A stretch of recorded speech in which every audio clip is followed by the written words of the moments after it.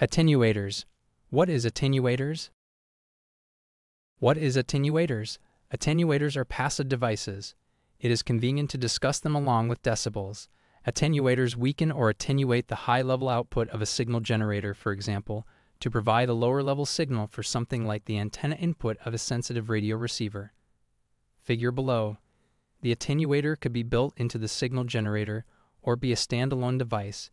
It could provide a fixed or adjustable amount of attenuation. An attenuator section can also provide isolation between a source and a troublesome load. Constant impedance attenuator is matched to source impedance Zi and load impedance ZO. For radio frequency equipment, Z is 50 ohms.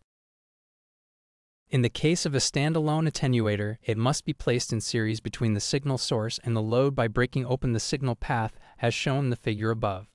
In addition, it must match both the source impedance Zi and the load impedance ZO while providing a specified amount of attenuation.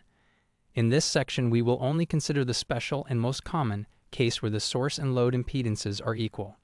Not considered in this section, unequal source and load impedances may be matched by an attenuator section. However, the formulation is more complex. T section and P section attenuators are common forms.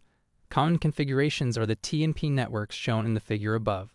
Multiple attenuator sections may be cascaded when even weaker signals are needed as in the figure below.